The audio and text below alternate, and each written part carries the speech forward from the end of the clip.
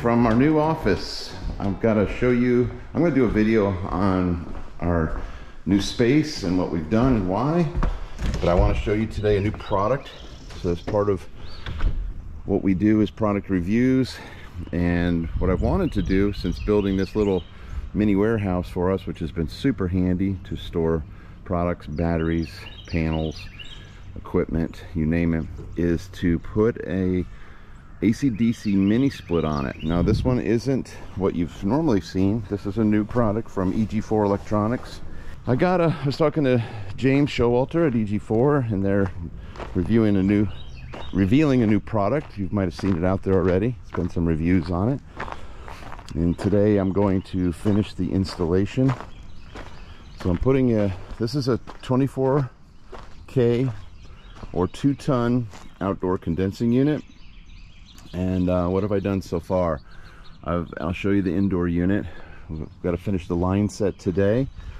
Um, this is an AC/DC, so what I did is I hijacked seven panels off of this array I've had here for years. Why seven? Because that the input voltage max is 350 volts.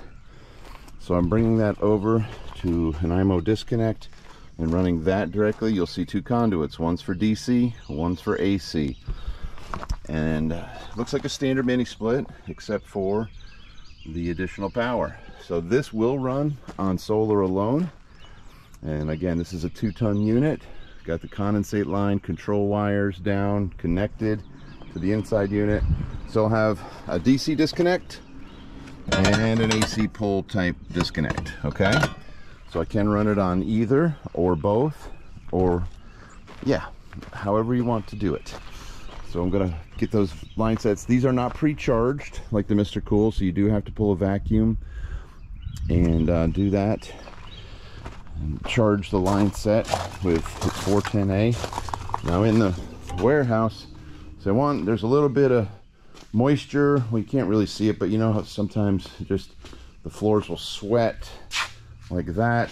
So I wanted to just deal with that. So just mounted their indoor unit on unistrut. The backing plate is bolted to the unistrut and you can see daylight through there. I got to insulate that. So I'm not done. This is just the beginning. So just like a normal uh, mini split installation, you got to kind of mount the, I like to mount the indoor unit first because that kind of determines my line set position, like the length of the line set, you know, how high I need to put the unit, and location wise then I can adjust the outdoor condensing unit to try to burn up that line set. This line set comes it's uh, about 13 foot long and comes in a coil. It actually does come with a unit which is nice. So here's the line set and this is the other line part of it I just unrolled to see how long it was.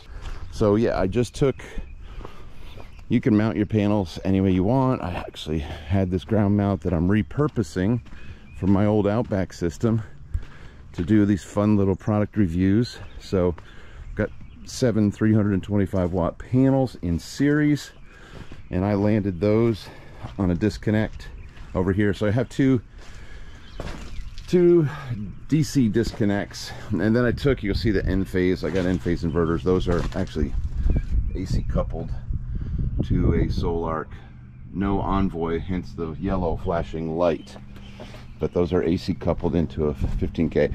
So then I just brought my solar over here. So we've been doing a lot here that I haven't videoed.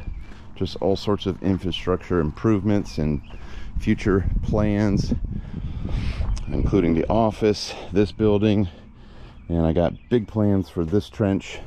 I'll share with you later. And this is the two ton version. They also have a one ton or 12,000 uh, BTU unit. So once you mount the indoor unit, you're going to drill a hole, typically a three inch hole for your line sets, um, your communication cable between the indoor and outdoor unit, and then the condensate line. And then uh, you wanna, so I'm right now I'm attaching the line set to the indoor unit and then I'll straighten out the lines bring them down wrap them around and connect them in here and get it ready for Tony, who's coming here today, he's a HVAC tech. He's got all the tools. I just have a cheap set of gauges. I really need to get a decent vacuum pump because the last one I had was not. So I'm going to get it ready for him though. So you want, when you're making these two connections, just make sure they're pretty tight. Don't wring them off. Don't go crazy. This is very soft copper.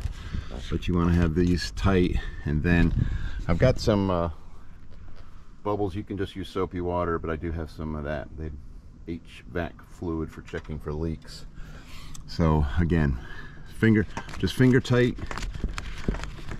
Thread them on by hand and then finish them off two wrenches don't go crazy but make them tight. But then when the system's running it's nice to come up and check for bubbles make sure there's no leaks. Last step on hooking up this EG4 is to pull a vacuum on the line set. Had it all hooked up but uh, I can't find my vacuum pump. No so Tony has uh, shown up because he is he is the HVAC expert. So he's gonna pull a vacuum on this line set and how long are we going to pull a vacuum for?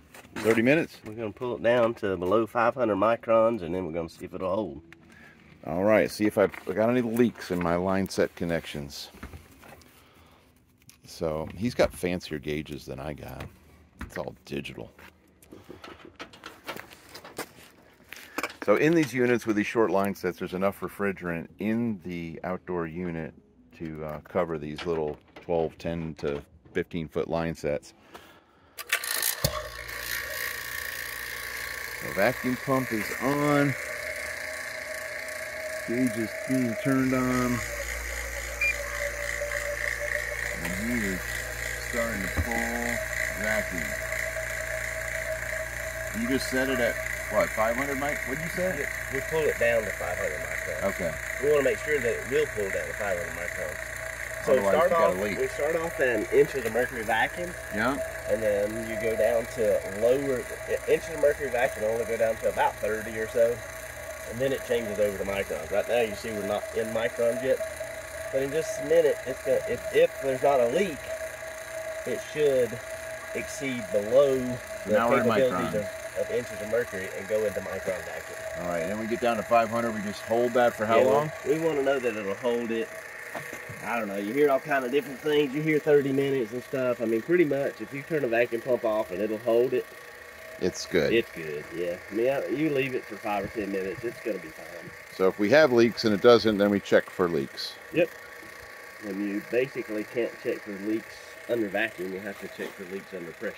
So you have to put nitrogen in there and pump it up. And Gotcha. Look for bubbles. You do bubble soaking. You got nitrogen? Mm-hmm. So he's got everything. Okay. So instead of me pretending I'm an HVAC technician, I hired one. Uh, Tony has been uh, doing a lot of our HVAC. We're going to go look at a, a job here and uh, once we get this one done, we got a Mr. Cool unit that's not behaving. So we're going to go look at that with Tony. So he brought the beast, as always. That thing just gets bigger and it don't even fit in the camera. Just capturing the startup on solar only. Got the AC disconnect pulled out to prove that we're not using any AC power. And so you can leave it on you can leave it on AC DC mode, but sometimes it's nice to prove the concept. And there she's cranking up now. It's on solar only. Yeehaw! Ramping up. So what I'm using this for, and you could use it for a lot of different applications. But when I built this little warehouse, little building here where I house customers' batteries and equipment, I just wanted to make sure I took the humidity out of this building. So it is an insulated building, insulated doors, and so now we're running the EG4 mini split, the two ton, and keeping everything nice and dehumidified. And it's, uh, I can already tell the floor is super dry. It's had a lot of moisture lately, a lot of rain, and it would just sweat. So it's super comfortable in here. And I want to do that on solar only. Yes, I can have it on AC power, but I want to prove that in some situations it's just fine just to run on solar. So I'm not using any grid power, or any other solar power from my inverters. So I'll show you some stuff on the app and it's got typical remote.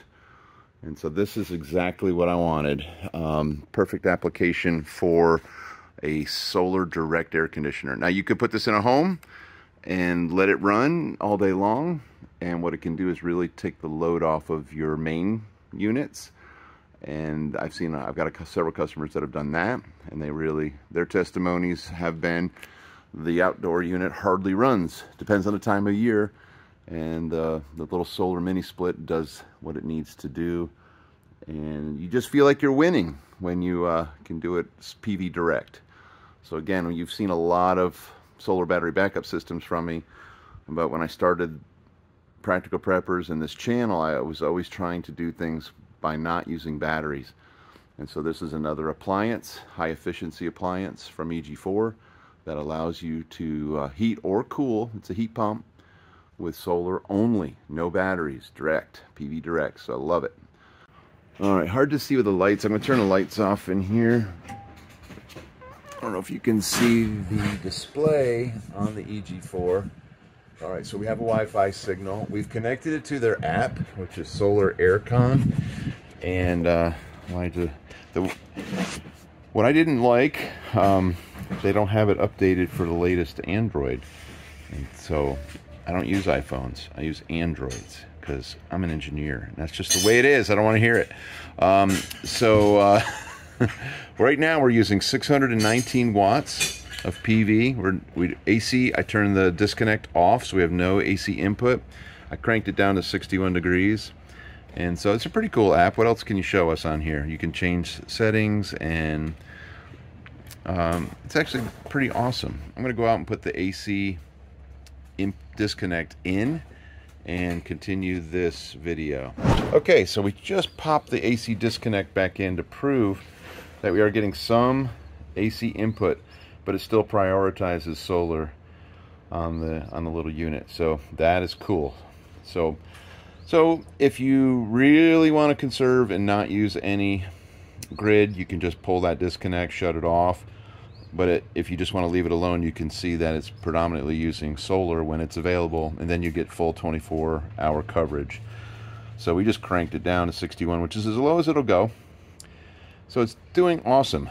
The floor is really dry in here now. It's been sweating the last few days but the floor is just super dry in all areas. It was kind of wet back here.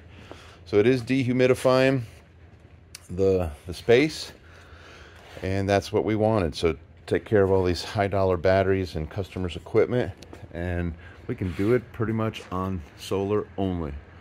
So I think that's it for the review of the EG4 24k 2 ton unit. It's got a, I like the 2 ton for a building this big because it's got a, a 800 I think it's got an 800 CFM fan versus the 400 on the 12Ks so on turbo it'll really blast you. So let me know what you think this is Engineer775 signing out.